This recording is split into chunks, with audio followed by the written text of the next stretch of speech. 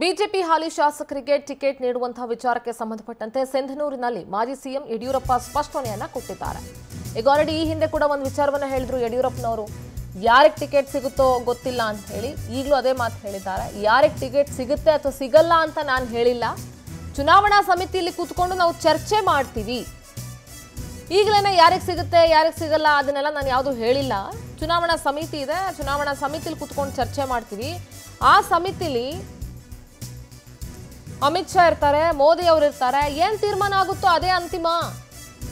ನಾನು ಹೇಳಿದ್ದು ಫೈನಲ್ ಅಲ್ಲಪ್ಪ, ಚುನಾವಣಾ ಸಮಿತಿ ಇದೆ. ಅಲ್ಲಿ ಮೋದಿ ಅವರು ಇರ್ತಾರೆ, ಅಮಿತ್ ಶಾ ಅವರು ಇರ್ತಾರೆ, ಅಲ್ಲಿ ಏನ್ ತೀರ್ಮಾನ ಆಗುತ್ತೋ ಅದು ಅಂತಿಮ ಅಂತ ಹೇಳಿ ಯಡಿಯೂರಪ್ಪನವರು ಬಹಳ ಸ್ಪಷ್ಟವಾಗಿ ಹೇಳಿಕೆಯನ್ನು ಕೊಟ್ಟಿದ್ದಾರೆ. ಅಲ್ಲಿ ಸೂಕ್ತ ತೀರ್ಮಾನವನ್ನು ತೆಗೆದುಕೊಳ್ತಾರೆ. ಇನ್ನು ಬಿ ಎಲ್ ಸಂತೋಷ್, ನನ್ನ ಆತ್ಮೀಯ ಸ್ನೇಹಿತರು, ಪಕ್ಷಕ್ಕಾಗಿ ಕೆಲಸ ಮಾಡ್ತಾ ಇರುವಂತ ಹಿರಿಯ ಮುಖಂಡ ಅವರು ಅವರ ಹೆಸರನ್ನ ಇಲ್ಲಿಗೆ ತರಬೇಡಿ ಅಂತ ಯಡಿಯೂರಪ್ಪನವರು ಸ್ಪಷ್ಟನೆಯನ್ನ ಕೊಟ್ಟಿದ್ದಾರೆ.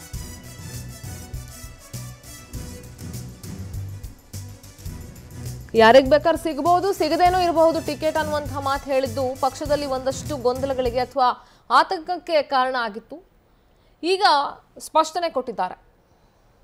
ತೀರ್ಮಾನ ಯಾವುದೇ ಕ್ಷೇತ್ರದಲ್ಲಿ ಇಂಥವ್ರು ಸಿಗುತ್ತೆ, ಇಂಥವ್ರು ಸಿಗೋದಿಲ್ಲ ಅಂತ ನಾನು ಹೇಳಿಲ್ಲ. ಚುನಾವಣಾ ಸಮಿತಿಯಲ್ಲಿ ಕೂತ್ಕೊಂಡು ಚರ್ಚೆ ಮಾಡ್ತೇವೆ. ಅಲ್ಲೇನು ತೀರ್ಮಾನ ತಗೊಂಡ್ರೆ ಅದೇ ಅಂತಿಮ. ಅದರಿಂದ ನಾನೇನಾದರೂ ಹೇಳಿದರೆ ಅದೇ ನನ್ನ ಮಾತಿಗೇನು ಅಂತಿಮ ಅಲ್ಲ. ಚುನಾವಣಾ ಸಮಿತಿ ಏನು ತೀರ್ಮಾನ ತಗೊಳ್ಳೋದು ಅದೇ ಅಂತಿಮ. ಅದರಲ್ಲಿ ಪ್ರಧಾನಿ ನರೇಂದ್ರ ಮೋದಿಯವರು, ಅಮಿತ್ ಶಾಜಿಯವರು ಎಲ್ಲ ಮುಖಂಡರುಗಳು ಇರ್ತಾರೆ. ಅಲ್ಲಿ ಸೂಕ್ತವಾದ ತೀರ್ಮಾನವನ್ನು ತಗೊಳ್ತಾರೆ. ಅಲ್ಲಿಯ ಅಭ್ಯರ್ಥಿಗಳ ಗೆಲುವಿನ ಒಂದು ಪರಿಸ್ಥಿತಿಗಳನ್ನು ನೋಡಿಕೊಂಡು ತೀರ್ಮಾನವನ್ನು ತಗೊಂಡು ಯಾವುದೇ ಕ್ಷೇತ್ರ